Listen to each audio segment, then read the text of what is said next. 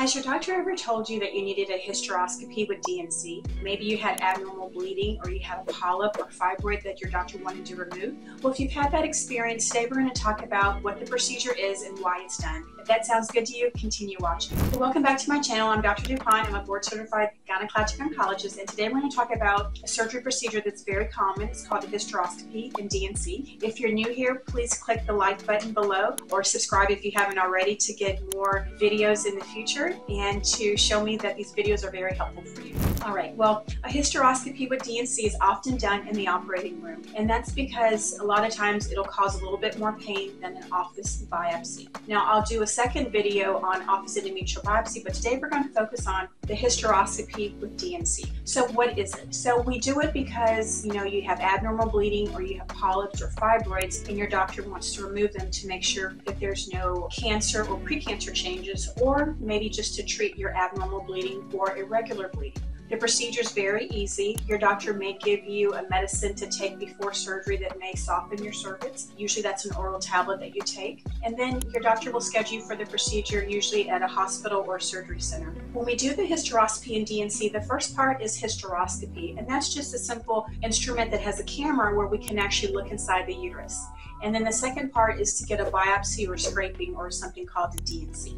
Again, this is normally done for abnormal bleeding, irregular bleeding, fibroids, or polyps. We also do it for patients that had maybe a miscarriage or problems with the pregnancy where they had some tissue retained. And it has been done also to evaluate fertility like if you're having trouble getting pregnant, sometimes they'll do a hysteroscopy to see if there's anything like scarring that's happening in your uterus. The first step is to put a speculum in the vagina, and most people know what a speculum is because if you've had a pap test, you've had a speculum. It's a little instrument, it can be plastic or metal, usually looks like this. There's different sizes and shapes, but that speculum is used to open up the vagina so that we can see the cervix.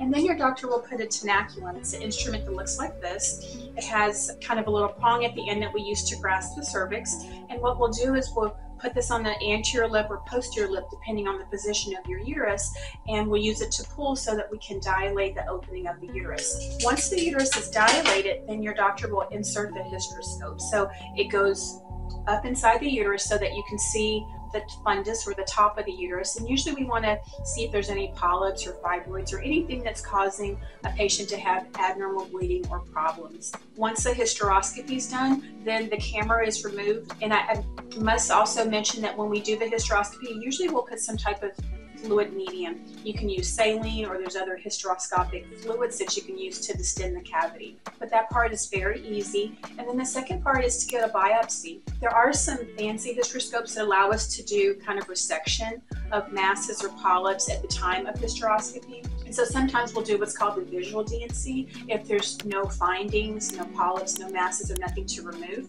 The second part is the D&C, which is dilation and curettage. D is for dilate, and that's where your doctor will dilate the cervix a little bit more. So a lot of times to get the hysteroscope in, we do have to dilate a, a small amount to be able to get the instrument in. And the instruments are various sizes. Some are very small, some a little bit larger, depending on the reason for the hysteroscopy. And then the C is for curettage, and that's when your doctor will get a biopsy of the lining of the uterus. Now, if you've had, you know, a miscarriage, um, your doctor may do something called a vacuum curettage, and that's to remove products of conception, and that's usually do, done with a plastic instrument that, that sucks a lot of tissue out.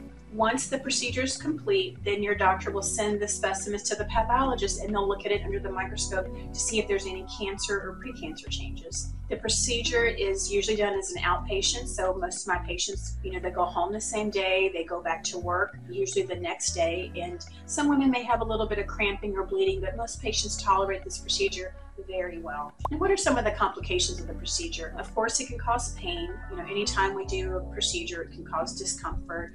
We usually will do the hysteroscopy in the operating room with the D&C if someone has like a scarred cervix or something called cervical stenosis, and that's where the opening is scarred. So for that, a lot of times we have to use some more instruments to dilate the cervix. So you, you may have some pain. You of course will have bleeding. You know, I tell patients to expect some spotting for several weeks. Sometimes, if I have someone that's having menstrual cycles, their cycle may start at a regular time and then they may have more bleeding. And that's usually because their cycle started and they're having bleeding from the procedure. So your doctor may tell you if you're bleeding more than one pad an hour for two straight hours to give the office a call. So in terms of complications, there's pain, there's bleeding, there's also infection. You most likely will get some antibiotics before. Um, your doctor will, you know, ask you to monitor your temperature and if you have any um, pain that's not getting better to let them know.